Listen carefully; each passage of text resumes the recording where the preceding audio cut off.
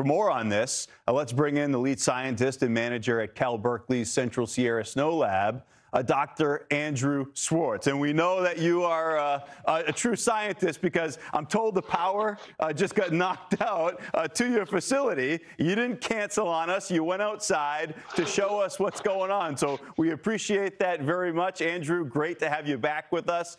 Can you explain, one, what was going on with the dry January, and now clearly you've got some high impact weather moving through? Yeah, absolutely. So we, on occasion out here, get this persistent blocking high pressure system that sits in the eastern Pacific in late January. So we're not necessarily a stranger to that.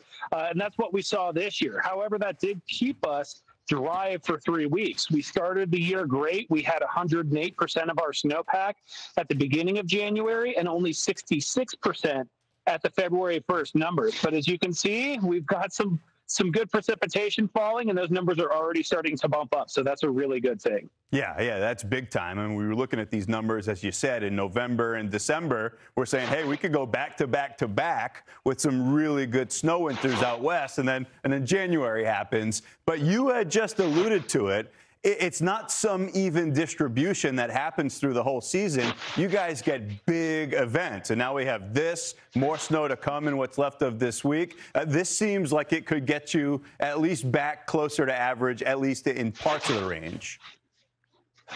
Absolutely. We've had six and a half inches of rain here at the lab roughly over the last several days. We've now had about 20 inches of snowfall in the last 12 hours or so.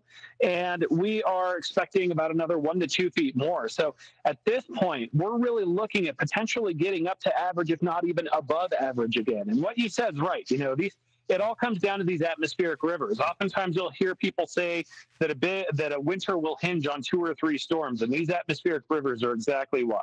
Yeah, we're, showing the numbers, and, it's thin, less than half average season to date across the southern part of the Sierra. How big of a deal is the storm moving through uh, the latter part of the week as, as, that gets a little bit farther off to the south and brings some of that snow to the parts of the of the range that really need it the most?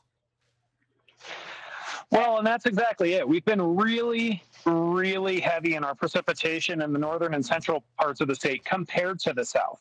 Uh, the southern areas in the Sierra Nevada haven't had a ton of snowfall at all. So having this storm later this week that'll distribute that a little bit more evenly will go a long way, not just towards bumping up our water numbers, but also in helping with our fire danger come summer. And, and, with those water numbers, before we let you go, I just wanted to ask you quickly: uh, if you if you just go average through the rest of the season, what kind of shape is the state in uh, through the second half of the spring and into the summer? You know, if we end up having a, a, kind of an average season for the rest of the season, oh snowflake, uh, then realistically speaking, we're in good shape. You know, we're we're very close to being average now at the snow lab with our, our overall precipitation. We're I think at 92% of average or something to that effect.